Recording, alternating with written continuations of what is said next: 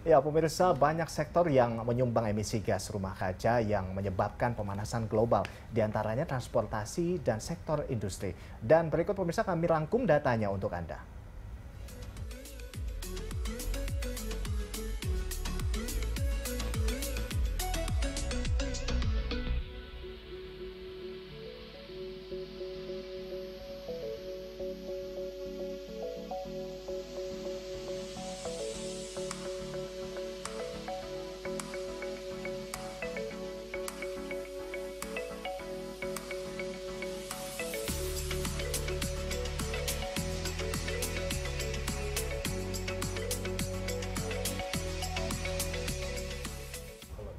Ini kalau kita lihat efeknya berarti dunia ya Pak ya? ya? Kita dunia. Karena kalau di Indonesia lebih besarnya adalah Penggunaan lahan. penggunaan lahan Oh, seperti itu. lahan. Oke, saya balik ke. Mas Yuyun. Ini tadi balik lagi apa yang memang yang harus dilakukan paling tidak apa yang harus dilakukan masyarakat dan juga pemerintah untuk eh, menurunkan lah paling tidak global warming ini. Sekaligus ka- closing statement dari Anda Mas Yuyun. Iya, eh, s- yang tadi saya uraikan dimensi eh, internasionalnya, yang sekarang saya pikir ada dimensi nasional yang secara struktural dalam konteks kebijakan gitu.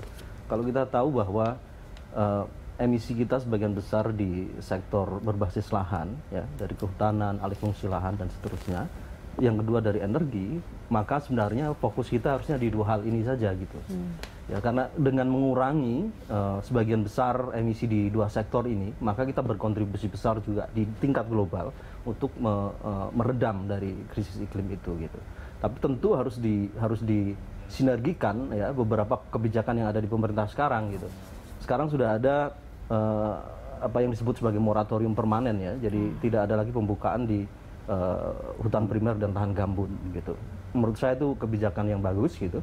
Tapi meskipun ada beberapa celah di sana, misalnya soal eh, peta ya di di wilayah mana saja yang yang yang harusnya dilindungi itu bisa berubah dalam dalam jangka waktu enam bulan. Nah, saya kira celah itu yang harusnya di- di- ditutup gitu. Yang kedua, kita sudah juga punya soal eh, kebijakan soal moratorium sawit. Jadi eh, selama tiga tahun dan diikuti juga dengan review perizinan gitu. Tapi menurut kami harusnya kebijakan bagus ini diperpanjang gitu loh. Usulan kami adalah ya eh, dalam satu daur hidup sawit itu gitu antara 25 sampai 30 tahun gitu. Sehingga perlu di extend sehingga karena memang target penurunan emisi kita kan jangka panjang juga 10 tahun kan di 2030 gitu. Nah, eh, yang terakhir saya kira peran masyarakat eh, umum, masyarakat sipil tentu sangat penting di sini bahwa perubahan perilaku kita juga mempengaruhi Ya. eh, iklim yang eh, ada sekarang gitu. Ya ngomongin soal sampah ya, ngomongin soal gaya hidup gitu ya, misalnya pilihan transportasi publik kita juga penting untuk di untuk di eh, address gitu ya. Karena misalnya penyediaan transportasi publik tanpa kemudian masyarakat punya budaya untuk menggunakan transportasi publik juga eh, Itu tidak tidak membantu tidak ya. match, ya. Jadi ada beberapa layer dan saya kira semuanya harus berjalan seiringan karena persoalan krisis iklim bukan hanya persoalan kita tapi juga persoalan eh, global Semuanya. gitu. dunia. Global. Nah, Oke. terakhir kalau dari Pak Bowo sendiri, seperti apa nih Pak? Apa yang harus kita lakukan untuk uh, ya sebagai warga, sebagai betul. masyarakat dunia singkat saja apa yang harus dilakukan untuk mengurangi? Jadi kalau kalau pada tataran komunitas atau rumah tangga, yang bisa kita lakukan, yang bisa kita jangkau adalah kita melakukan alternatif penggunaan energi. Sehemat mungkin ini, pakai mungkin solar cell segala macam. Ini sudah mulai berkembang. Di samping itu juga budaya kita dalam sampah segala macam. Loh, kenapa sampah? Banyak orang tak apa hubungannya dengan di sana, dengan iklim.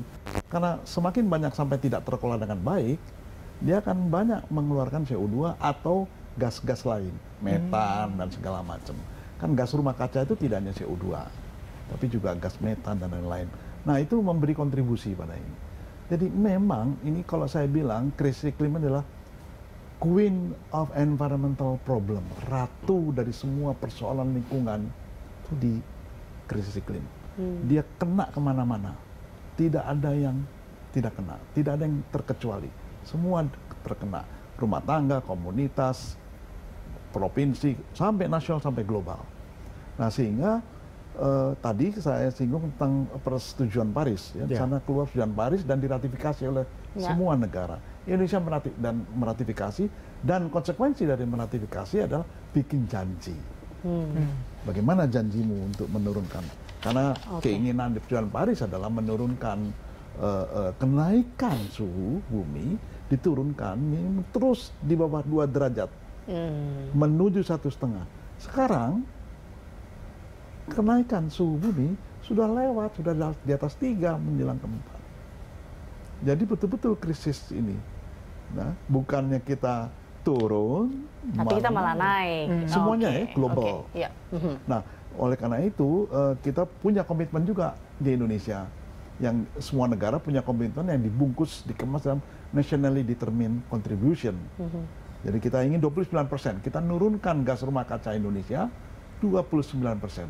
Tapi kalau ada bantuan dari luar, karena tadi kan eh, negara-negara maju harus menggelontorkan uang 50 miliar dolar per tahun. Oke, baik. Nah itu Indonesia akan dapat juga sebagai entah bagaimana mekanismenya masih di- dibahas. Nah itu bisa naik sampai 41 persen. Sampai 41 Oke, persen, dari 29 hingga 41 Ini, ini persen. ya, tadi ya. kita lihat bahwa Baik. memang ini bukan eh, bukanlah kerja sendiri, tapi Betul. memang harus saling eh, semuanya bekerja karena ini masalahnya juga tadi kalau kita bilang global dan kita Lokal. harus lokal, jadi memang semuanya harus kerjasama dalam hal ini. Betul. Terima kasih eh, Pak Bowo, terima kasih Mas Sama-sama. telah bersama kami dalam Ya, lunch ya.